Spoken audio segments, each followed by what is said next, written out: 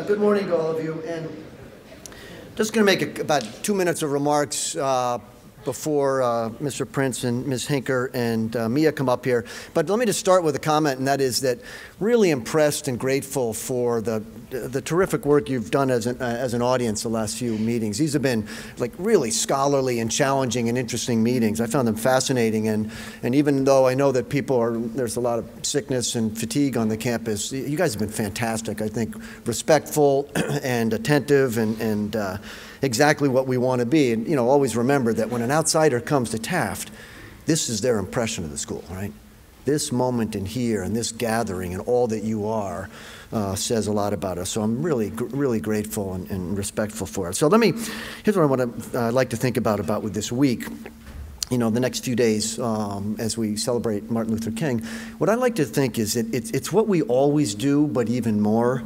It's who we are, but even better. And, and this is what I mean you might think of being a Taft student as about expanding things. That is, your years here are about expanding your capacities and your skills and your understanding, your passion, your resilience, and all kinds of things. I, I like to think at the end of the day, it's a, it really it's about expanding your heart and about expanding your mind. And as teachers, we work really hard, and the faculty in this, uh, the school try to create the circumstances where you get that kind of expansion. They work, faculty work really hard to create an experience in and out of the classroom that expands your mind and heart. They live for this, they devote their lives to it, and they find deep meaning in it. And I would argue that it's hard to find many hours we spend during the year really more potent for this kind of expansion than these hours around MLK Day. And I mean, and I think about this, I mean, the talk about the civil political discourse we had on Tuesday, Dr. Petrella's remarkable address yesterday, today's school meeting, the sights and sounds of, of Saturday's World Fest, the stories that are that you can see in those in the movies on Sunday, the reflections of the prayer breakfast, the learning around case studies, the sharing at discussion tables, the electricity in Bingham. There's a chance for you to expand your heart and mind in the next five days that is amazing. Again, it's what we always do, but I think even more so. And the best thing is it is free and it is available for everyone. So my counsel to you would be seize this, right? Take these opportunities over the next few days. You want to be better prepared to succeed and lead here and in college and in life wherever you go well, then don't miss the opportunity that you have here. I would say that for every day, obviously, but in particular the next few days. Don't sit on the sidelines. Don't sit idle in indifference. Get engaged and bring an open heart, bring an open mind. It is for every one of you, and just like any dorm or team or club or class, we need everyone, right? We need engagement from each of you. So you'll get to wrestle with interesting and challenging ideas right? Including ones that are hard to wrap your brain around. That's the mind expansion piece, right? That's the intellectual expansion can happen. It is an intellectual exercise. It is a workout that can leave your mind like a muscle expanded, stronger and more elastic and more capable. It is hard, this exercise, and it's supposed to be. I spoke with a boy in the weight room last night, and we, we stumbled into a metaphor that will make sense to you. What do you think of the speaker today? I asked, and he was on the bench press, working hard. Mr. Mack, it was really tough. Some of it went over my head. But I learned things I'd never thought of. For instance, uh, things about Susan B. Anthony and the white suffragettes, it was really challenging. Like, it was really hard to figure out. As you can imagine, I said, yeah, it was heavy lifting, wasn't it? Give me credit. oh, wow. Thank you. Wow, I, am being, I'm being damned by faint praise there. But, but that's the point, obviously, is that the work we do all the time is an intellectual exercise, and if you think of the mind as a muscle, it gets stronger. You'll get to experience moments that have deep emotional power. That's the heart expansion piece. Moments where you might feel intense feelings, maybe some mix and I know I will feel this of joy and exhaustion and belonging and confusion and sadness and longing and pride. And that will expand your heart and leave it warmer and more capacious and more robust, more capable of empathic connection, more able to accept and trust, forgive and love. So all you have to do to be expanded in those two ways is to bring your best self. You need to be willing to participate willingly, listen openly, discuss civilly, learn eagerly. Each of you can do this. I know you can. It's what we ask every day just more so. So remember that in the beginning of the, uh, of the year, I argued that what, I don't know if you'll remember this in that opening, I said, what makes great organizations is that they have these really high standards and everyone in the place is able to uphold them, right? That's what makes these great organizations. And the fact that that's the case meant that we all belonged, that there were no outsiders. You came here to Taft essentially and said, you know what, I, I want to be part of those high standards of conduct and scholarship and citizenship. And when you said that, you got this card that just was stamped Tafty, and it said, You belong, right? Every one of you belonged. And that's the kind of place I'd like this to be. It's the kind of place that is fun and healthy and safe to grow, to take risks, to learn, to be your whole self, or as Horace Taft said in 1918 in that handbook, to be genuine. So I just hope that you meet these high standards in the next few days. I'm going to work hard to bring my best self. I know you will too. I am predicting this. I'm predicting that each of you is going to leave my own mind and my own heart expanded. I can't wait for that feeling, and for it, I thank you in advance. And I just end with that thought that can you imagine the feel of a community if everyone, if every one of us felt that our hearts and minds had been expanded by the actions and thoughts of others, if everybody looked to their left and right and said, that person next to me expanded my heart, expanded my mind, that would be truly special. So that's the spirit I go into the next few days. And with that, and with great thanks um, for Mr. Prince and Ms. Hincker and Mia, I'll turn it over to, to them. So many thanks.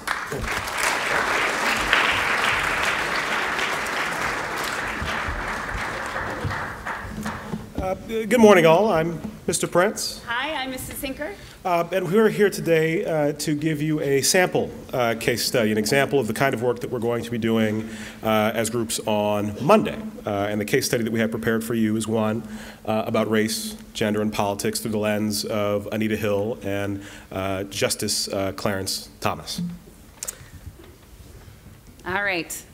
So, why are we here? Well, we're here to talk about this particular case through the lens of intersectionality, um, not just thinking about it through gender or race, but both, in the intersection of both. So, just a reminder intersectionality is the interconnected nature of social categorizations such as race, class, and gender, regarded as creating overlapping and independent, uh, interdependent systems of discrimination or disadvantage etc. You can read that. I don't have to read that for you. Sorry. Um, just a quick uh, test of the waters here. Raise your hand if you are familiar with Anita, Hay, uh, Anita Hill or Clarence Thomas. Do you, anyone remember that case?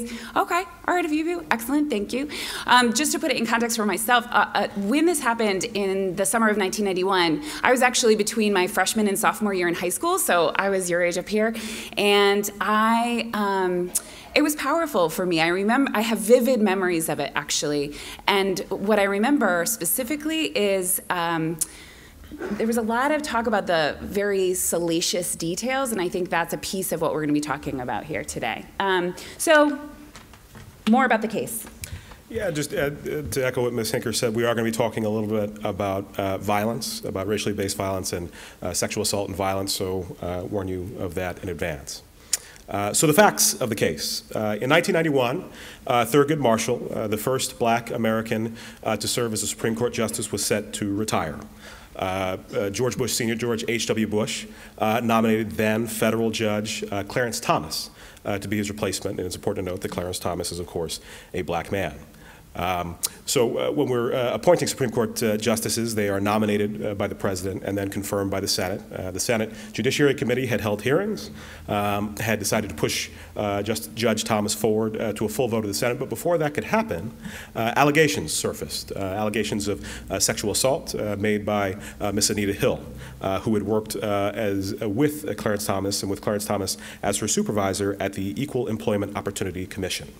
Uh, before a full vote would be taken uh, on whether or not to uh, confirm uh, Judge Thomas, um, they decided to have hearings uh, where both Ms. Hill and Judge Thomas would speak. We're not going to share all the hearings with you, but we did want to give you a sample of the opening statements of both Ms. Hill and Judge Thomas. So here they are. During this period at the Department of Education, my working relationship with Judge Thomas was positive. I had a good deal of responsibility and independence. I thought he respected my work and that he trusted my judgment. After approximately three months of working there, he asked me to go out socially with him. What happened next and telling the world about it are the two most difficult things, uh, experiences of my life.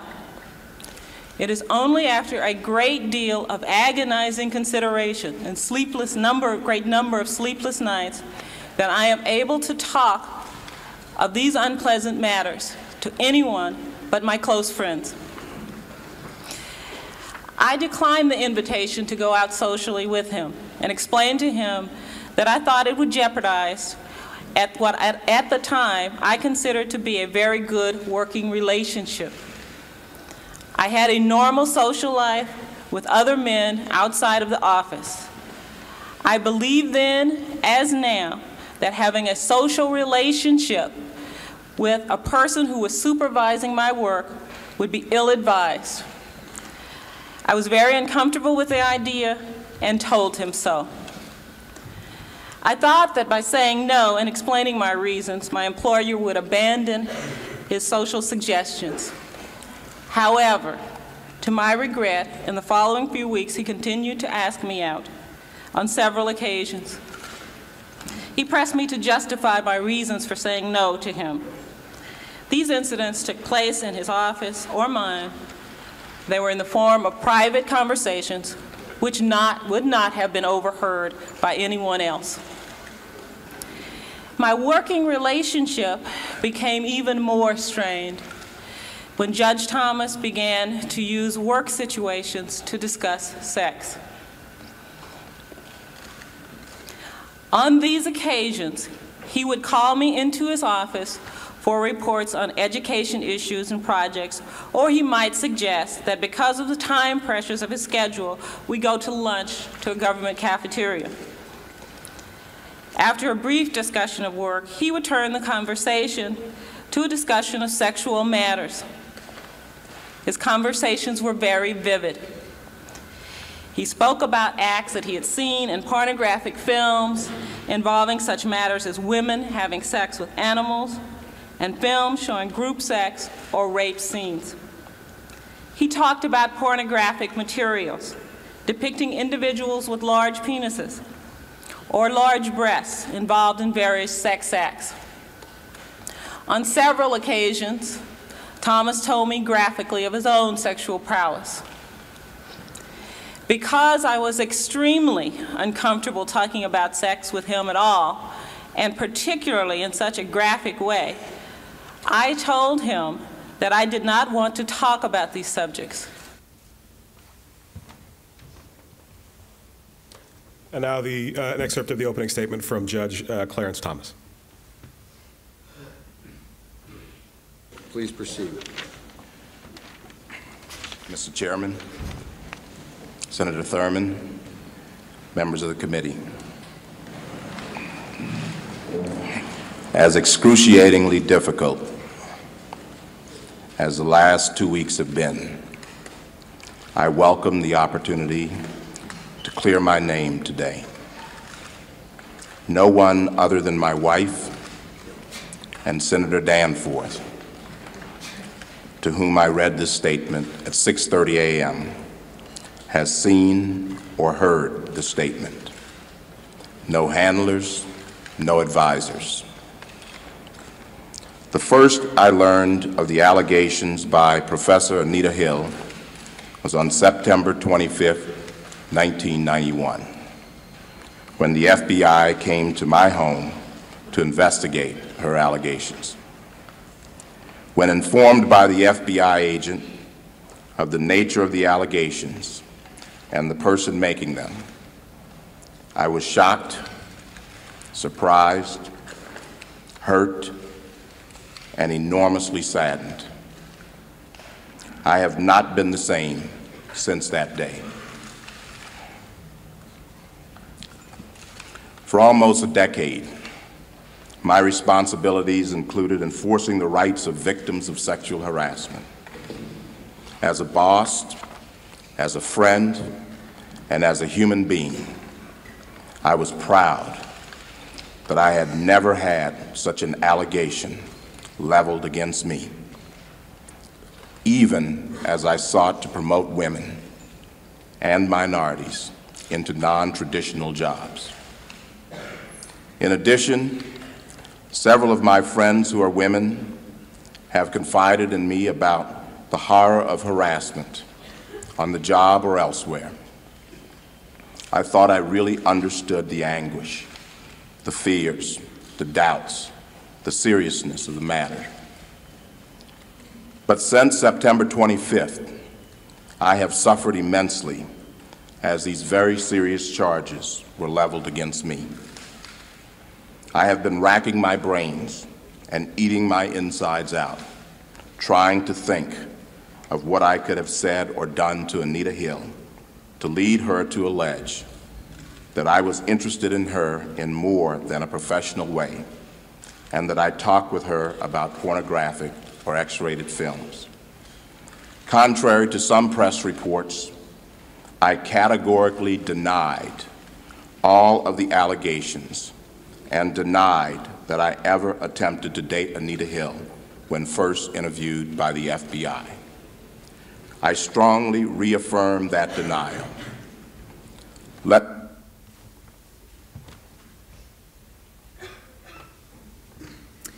So, obviously, hearings like this are really complex, as we just saw with Judge Kavanaugh and Dr. Christine Blasey Ford. You know, there's a bunch of different reasons for that. Number one, you know, it can boil down to a he said, she said sort of situation. Also, are accusations like this um, worth considering whether or not a Supreme uh, Court judge is worthy of being on the bench? So, you know, maybe this isn't a big deal, big enough deal, et cetera, but, but it is complex. Um, making it more complex is that both gender and race were in, in conversation here.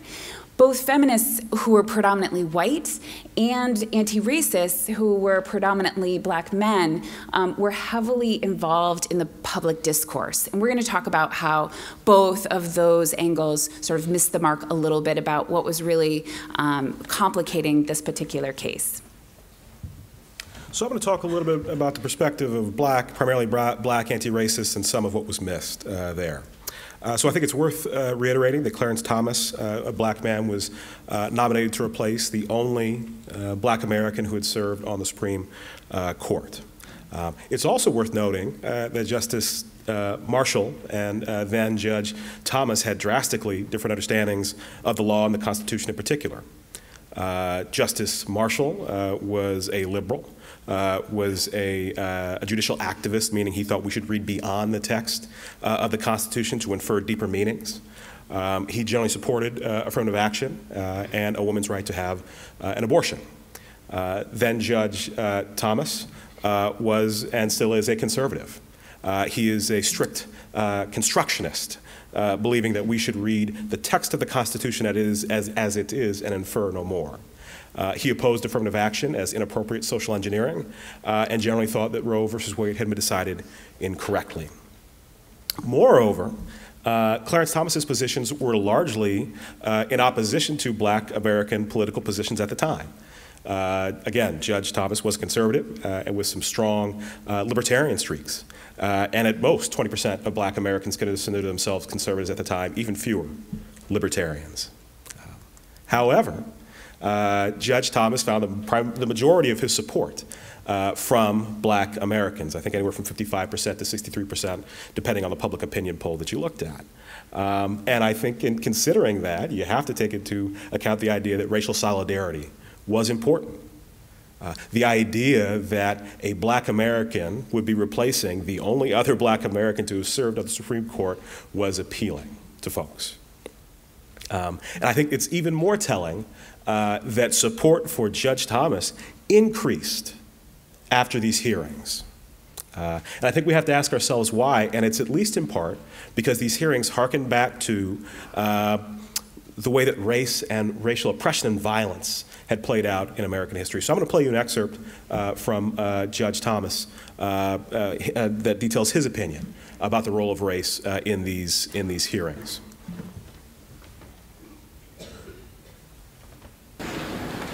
And from my standpoint, as a black American, as far as I'm concerned, it is a high-tech lynching for uppity blacks who in any way deign to think for themselves, to do for themselves, to have different ideas.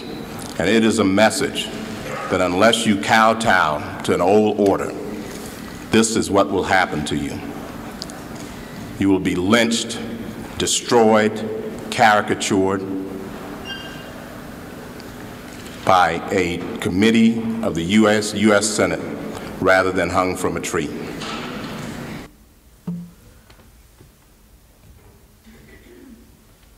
Characterizes the high-tech lynching. Uh, that is powerful language, uh, rooted in a deep history of racial violence and oppression in America. Um, the Equal Justice Institute calculated or documented some 4,084 lynchings uh, of black Americans that took place between the end of Reconstruction in 1877 and 1950. Uh, in fact, there's been a, a memorial uh, created in Montgomery, Alabama, the National Center uh, for Peace and Justice, uh, where if you go, there are some 800 steel columns or, or beams that hang from the roof, uh, meant to symbolize the black bodies uh, that were beaten and hung and tortured. And each of those beams, you can see a county, and on that, and, the, and then the, the folks that were lynched within that county. Um, these lynchings were, were brutal. not that hanging isn't bad enough, but they weren't just hangings. I won't share the details, but you should read about it. They were public. Uh, I'll speak for myself. Uh, when I used to think of lynchings, I thought that they happened in the backwoods, uh, something shameful and to be hidden away. But no, these were public events. Towns would stop what they were doing for the day to attend a lynching. So much so that the photos of lynchings, and yes, there were photos of lynchings, would be put on postcards to be sent to people. And you can find those anywhere on the internet. There's, there's some great archives. Um, so that's, you know, that, that is kind of the broader level historical backdrop. We can go a step deeper. Uh, Ida, B. Wells, one of the, uh, the black feminists that uh, Dr. Petrella spoke about yesterday, uh, wrote this book called The Red Record. Uh, and in that, she documented lynchings between the years of 1892 and 1893. Uh, in those two years, of the 319 lynchings that took place, 109 of them, just about a third, or maybe fully a third, were due to accusations of rape, alleged rape, suspected rape, and attempted rape. Uh, and if that's not impactful in and of itself, let's consider the categories rape, alleged rape, suspected rape and, att attempt, and attempted rape. Uh, and that's because oftentimes these black men would not make it to trial. They would be taken up by mobs and lynched before they ever had their due process. And we can ask questions about the validity, validity of these claims that we'll never have the answer to, but uh, th there is something there. And a lot of this has to do with the hypersexualization of black men, which is a, a, singularly American uh, phenomenon. This idea that black men are obsessed with sex, and particularly with having sex with white women, and that white womanhood uh, is the zenith of American purity, and particularly American Southern purity. Uh, and this runs throughout American history and American culture. Uh, in D.W. Griffith's Birth of the Nation, the first full-length major motion picture, uh, black men were continually portrayed as lusting after white women, and white women were so afraid that they threw themselves off cliffs, uh, committed suicide to avoid black men. Uh, we heard from Dr. Petrella yesterday. Rebecca Latimer Felton, the first uh, female senator, said, If it needs lynching to protect woman's dearest possession from the ravening human beasts, then I say lynch a thousand a week if necessary. Emmett Till, uh, a 14 year old black boy, was lynched in Money, Mississippi for whistling at a white woman, for whistling at a white woman. Uh, more recently, Maine Governor Paul LePage lamented black men coming to his state to sell drugs and then, quote, half the time they impregnate a young white girl. And Dylann Roof, the author, the author of The Massacre uh, in, the, uh, in Charleston, uh, said, I have to do this because you are raping our women and taking over the world. So when Justice, when Judge Thomas, excuse me, uh, invoked this idea of a high-tech lynching, he invoked this long history uh, that was familiar to black Americans at the time uh, and, and got a response, a resounding response of support. Now, uh, there were things missed with that lens, and it's important to highlight that, and that's primarily why we're here. Um, Anita Hill, lest we forget, is black. And that was forgotten by many at the time, and I think that's telling. Again, Dr. Petrella talked about it yesterday. The erasure, uh, the, the, the fact of erasure of black women from history is real. Rosa Parks being spirited away from the March on Washington because she was giving too many interviews is real. Uh, I challenge you, think about this, name a black uh, uh, woman activist in the women's suffrage movement, other than Rosa Parks and perhaps Diane Nash in the civil rights movement, in the second wave feminist movement in the gay rights movement. And I think it'd probably be difficult to do. Right? So again, if that's that one layer of erasure, we have to go a level deeper because black women also suffer at uh, abnormally high rates from sexual assault, sexual harassment, and sexual violence. Uh, we can go back in history. Black women, uh, black female slaves were raped by their slave masters without repercussion. There's a long history of white assailants uh, who were not punished for raping black women because the, the death penalty was too stringent, was thought to be too stringent. 40% of black American girls uh, report sexual assault by the age of 18. That's today. 40% of black American women are victims of intimate partner violence. That's today. And those numbers are disproportionately high. All of that, all of that history and how it applied to Nita Hill was lost by looking at just race and not considering the intersections of race and gender.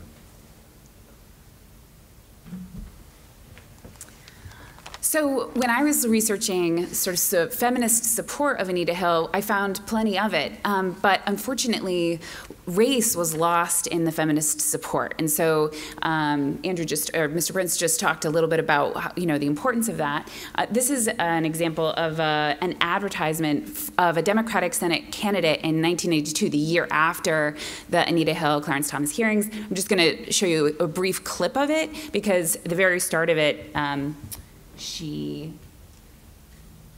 mentions it. October 11th. Did you conclude that Judge Thomas was guilty of sexual harassment?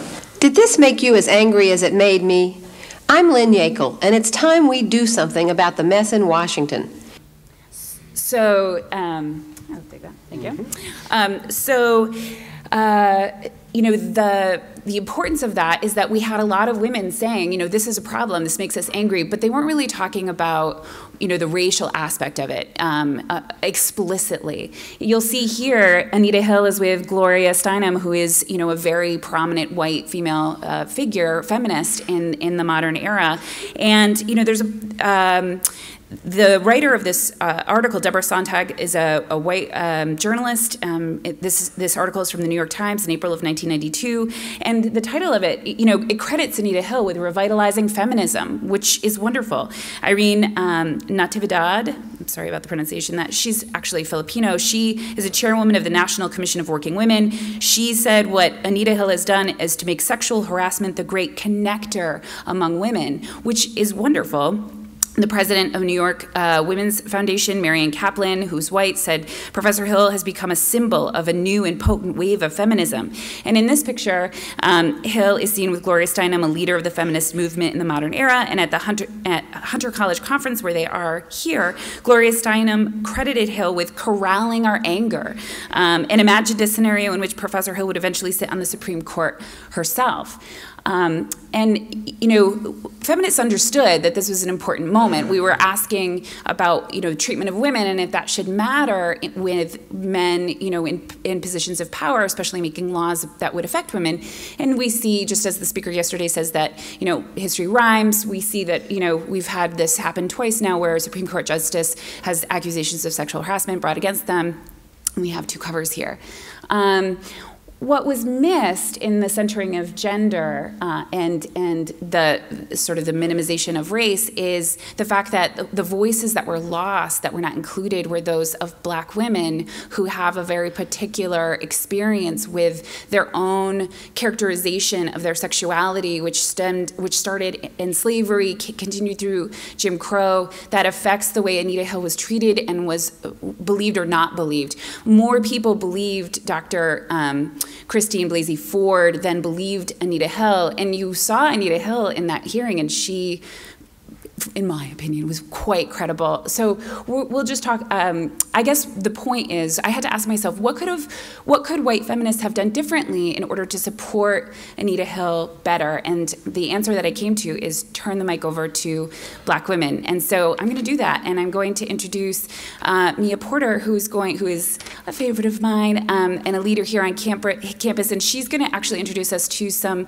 black um, female feminists that we should know about that we should listen to and that we should um, ask for their opinion and, and bring into the conversation the next time something like this happens. So, Mia, come on up. Thank you.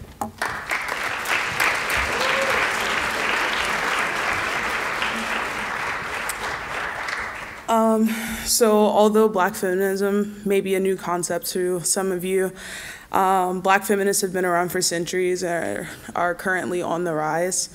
Um, with women like Anna Julia Cooper, who was the fourth black woman to earn a PhD, um, leading the way for literature um, for black women. Black feminists came about like Zora Neale Hurston, Audre Lorde, Toni Morrison, and Chimamanda Ngozi Adichie, who have um, taken on black feminism through the form of representation in literature, often speaking of sexual harassment, um, the disparities between black women and black men that are often not discussed. Um, activists such as Harriet Tubman, Sojourner Truth, um, Amy Jacques Garvey, which is the wife of Marcus Garvey, who the speaker referenced um, yesterday, who was often left out of the equation, Rosa Parks, Angela Davis, Tarana Burke, who was the original founder of the Me Too movement, um, which is now on the rise um, lately, but was started in 2007. Alicia Garza, Patrisse Cullors, Opal Tometi um, have all used their voices to raise political awareness of the struggles of intersectionality. Um, Alicia Garza, Patrisse Cullors, and Opal Tometi are the founders of the Black Lives Matter movement. And um, they state, as a network, we have always recognized the need to center the leadership of women and queer and trans people to maximize our movement muscle and to be intentional about not replicating harmful practices that excluded so many in past movements for liberation, we made a commitment to placing those at the margins closer to the center. In terms of pop culture, we have amazing women like Billie Holiday, Aretha Franklin, Lauryn Hill, India Arie, Beyonce, Rihanna, Yara Shahidi, and many more spreading awareness through music and social media influence. Although I didn't name all of the black feminists, um, these are women that I have named um, are most prominent figures in my life um, and are a source of inspiration and have major influence over the awareness of intersectionality today.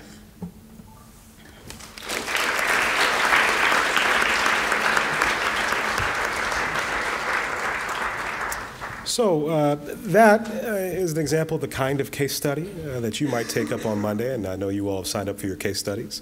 Um, after that, on Monday, uh, you will have an opportunity to discuss these case studies with uh, your peers uh, as well as a couple faculty members. Um, for those case study discussions, we will use discussion norms that I hope are beginning to become, become familiar.